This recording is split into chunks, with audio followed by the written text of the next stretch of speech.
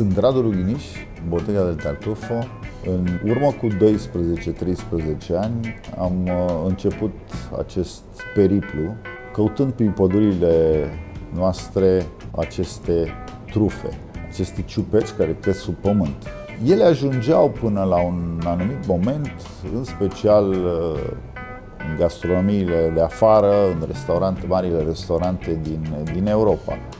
Așa că challenge-ul nostru a fost să ne redescoperim resursele prin gastronomia locală.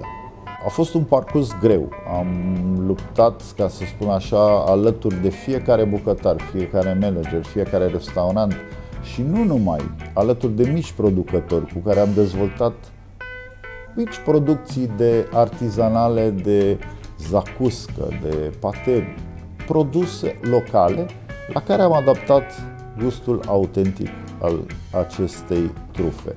Când uh, după 10 de 12 ani petrecuți afară, am revenit în, uh, în România.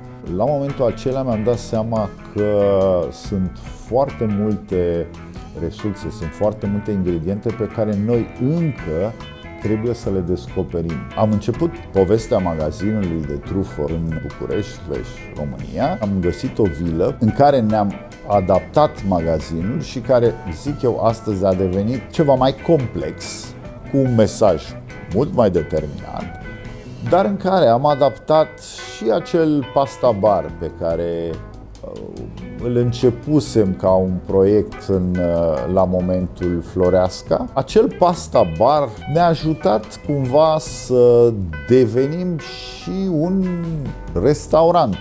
Suntem legați, într-adevăr, suntem foarte legați de cartier pentru că avem deja prieteni. Clienții noștri sunt uh, foarte atașați și îi considerăm prieteni apropiați. Avem comunicare nu numai datorită trufei, dar și a unor rețete sau ce uh, pot să dezvolte cu ele, aproape permanentă. Suntem tot aici, lângă voi, în vecinătatea Floreasca, la Cutei, pe comandor Eugen Botez 27 și ne continuăm misiunea noastră în a dezvolta produse pe bază de trufă alături de voi.